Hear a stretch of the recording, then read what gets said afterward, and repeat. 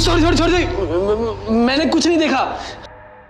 लेकिन एक मिनट। अगर ये लड़की है तो कमोड पे खड़े होकर पेशाब क्यों कर रही है?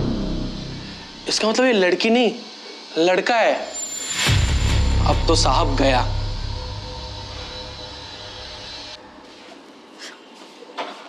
प्लीज़ रामू रामू मेरी बात सुनो प्लीज़ तुझे जितने पैसे चाहिए मैं तुझे पैसे दूँगी तेरी सैलरी भी बढ़ा दूँगी। प्लीज़ आपको कुछ भी मत बताइए प्लीज़ ठीक है मैम साहब। मैं साहब को कुछ नहीं बताऊँगा। वैसे भी मुझे तो पता चल ही गया है कि अब जैसी दिखती हो वैसे हो नहीं। और क्या है ना साहब को ये बात पता चली तो उनका दिल टूट जाएगा। आपसे प्यार जो करते हैं इतना। तुम्हें जितने पैसे चाहिए तुम मैं तुम्हें उतने पैसे देने को तैयार हूँ। प्लीज़ ये बात किसी को नहीं पता चलनी चाहिए ना साहब को ना घर में किसी को प्लीज़। ठीक है मैम साहब ये बात मैं किसी को नहीं बताऊँगा। और मुझे पैसे भी नहीं चाहिए। मुझे तो कुछ और ही चाहिए। आप मेरी ज़रूरतें पूरी कर दो और मैं आपकी बात छुपा लूँगा। मैम साहब वैसे भी हर बात छुपाने की ना एक कीमत होती है। और बात छुपानी है तो कीमत तो चुकानी पड़ेगी।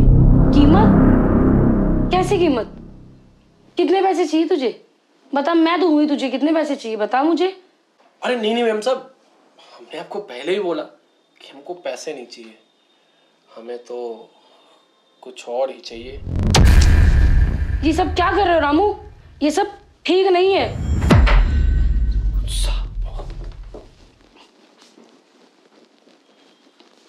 क्या चल रहा है ये? कौन किसको क्या नहीं बताएगा? कुछ नहीं कुछ नहीं वो एक्चुअल में ना रामू थोड़ी सैलरी मांग रहा था एक्स्ट्रा अच्छा। इसको गाँव जाना है। किस बात की सैलरी अभी तो इसकी सैलरी बढ़ाई है मैंने। अरे वो इसको गाँव जाना है इसकी माँ की तबीयत ठीक नहीं है। तो ये बोल रहा था कि भाई मैं साहब से बोलूँगा तो साहब गुस्सा करेंगे। तो मैडम आप बता देना। यार इसके ड्रामे खत्म नहीं होते रामू के। कभी इसका कोई किस महीने कोई बीमार हो जाता है कभी कोई बीमार हो जाता है माँ बीमार हो गई है। ऐसे सैलरी बढ़ाता रहूँगा क्या मैं? अरे बेबी आप टेंशन मत लो। कोई नहीं मैं इसको अपना आप देख लूँगी मैं अपना बात कर लूँगी ठीक है? आप टेंशन मत लो। तो मैम साहब क्या सोचा आपने? रामू ये सब ठीक नहीं है। अरे क्यों ठीक नहीं है? सब ठीक है। आपकी राज भी तो छुपा रहा हूँ मैं।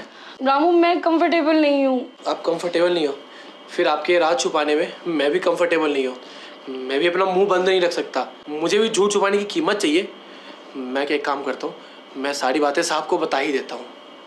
प्लीज़ ऐसा मत करो रामू प्लीज़ मत करो। मैं फ़ोन करता हूँ अभी। सुनो रामू मेरी ज़िंदगी खराब हो जाएगी मत करो। हेलो साहब हमको ना आपको एक बहुत ज़रूरी बात बतानी है। आप जल्दी से घर पे आ जाइए। अरे रामू क्या बात करनी थी तेरे को यार? मेरे को तुमने इतना अर्जेंट में बुलाया कॉल करके। मालिक मालकिन ना आपसे एक राज छुपा रही है। अच्छा कौन सा राज? मालिक को क्या है ना? मालकिन ने आपके लिए एक सरप्राइज़ प्लान किया है आपके बर्थडे के लिए। अरे वाह बहुत बढ़िया। वो भी पूरे डेढ़ लाख रुपए में। डेढ़ लाख रुपए? अच्छा डेढ़ लाख रुपए में यार कौन फूकता है बर्थडे पे? अरे हाँ मालिक हम भी तो मालकिन को ही समझाने की कोशिश कर रहे हैं लेकिन मालकिन हमारी भी बात नहीं सुन रही है। हमने बोला मालकिन को कि इतनी महँगी पार्टी देने की क्या ज़रूरत है? घर में ही छोटा मोटा पार्टी कर लेते आपका बर्थडे अच्छे से मन जाता। लेकिन मालकिन सुने तब तो। तू सही बोल रहा है यार वो किसी का कहना नहीं मानती है अपने मन की करती है बस वो।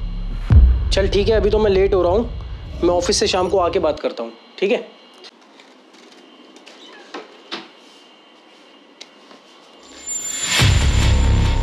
मेम साहब अगर आपको साहब को बताना होता तो आप पहले ही बता देती। लेकिन अब अगर बताओगे तो बहुत बड़ी बात हो जाएगी। तो मैं जो कहता हूँ वो करो चुपचाप। छोड़ो रामू मत छोड़ो प्लीज़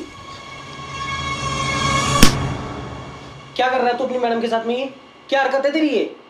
साहब अब आप तो अभी ऑफ़िस से गए थे ना चला गया था लेकिन मैं वापस आ गया। ये हरकत क्या कर रहा है तू तो अपनी मैडम के साथ में? साहब आपको नहीं पता लेकिन मैडम ना लड़की नहीं लड़का है। और वैसे भी मुझे तेरी मेम साहब ने पहले बता दिया था कि तेरी गंदी नज़र है उनके ऊपर। तेरी सच्चाई पता करने के लिए तेरी मेम साहब ने और मैंने ट्रांसजेंडर का प्लान बनाया था। आई समझ में? मालिक मुझसे गलती हो गई। मालिक मुझसे गलती हो गई। मुझे माफ़ कर देना।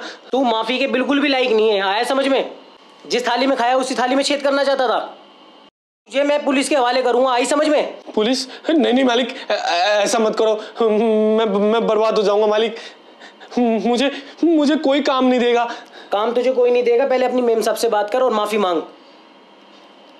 मैम साहब मुझे माफ़ कर दो मुझसे गलती हो गई। ये सब तो पहले करने से पहले सोचता ना तू? पहले दिन से ही तेरी गंदी नज़र थी मेरे ऊपर। तेरे को ही फंसाने के लिए हमने ये प्लान बनाया था। और जिस प्लान में तू पूरे तरीके से फंस चुका है। और तेरा सारा सच हमारे सामने आ चुका है। लेके जाओ इसको। मालिक मुझे माफ़ कर दो मुझसे गलती हो गई। ना जाने मुझे क्या हो गया था। ये करने से पहले माफ़ी सोचता ना तू तो। अब चल तू मेरे साथ पुलिस स्टेशन। चल।